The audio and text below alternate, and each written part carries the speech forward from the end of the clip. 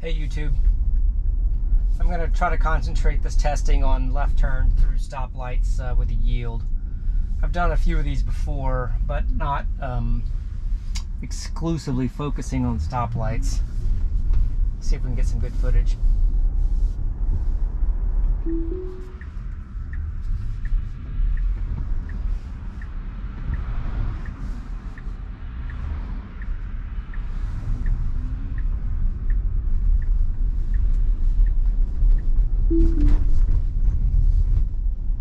That was a good turn. Still going a little fast over the railroad tracks for my liking though. Alright, on this next left turn, we're going to have a yield on green. Uh, the traffic is approaching uh, from a three lane highway in the crossing traffic. There's no oncoming traffic at the moment if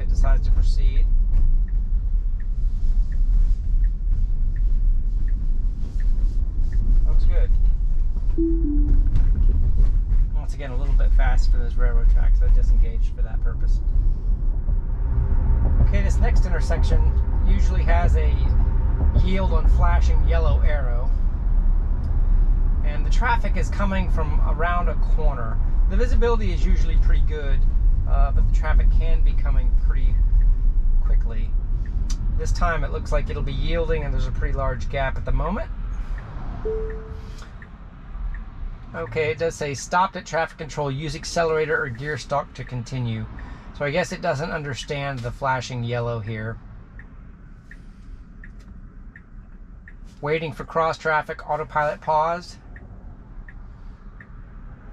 And then when it sees an opening, like now, use accelerator or gear stalk. So I'll go ahead and use the gear stalk during the next opening um, to initiate the turn. With That way you can see when I initiate it. Okay, there's a large gap coming now. I'm going to hit the stalk now. And it, won't, and it is now proceeding. And once again, too fast to cross railroad tracks. I'm to start reporting those.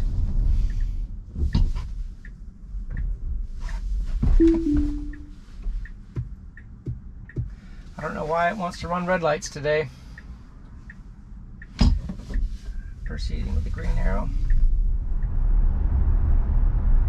Okay, this next intersection is going to be another green light with yield without an arrow. And at the moment, there is no arrow with oncoming traffic. Another left turn across some uh, railroad tracks, but the traffic is approaching from a little bit below a hill. Let's see how it does here.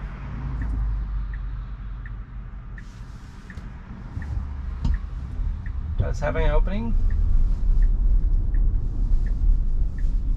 And it did a good job there.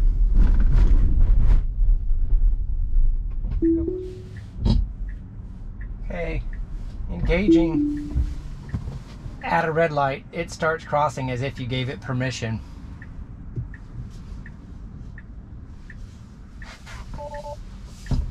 All right, we've got another uh, green light yield when there's no arrow.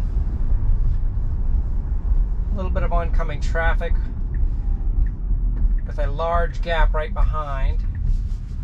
All right, very quickly stopped for that traffic and proceeded.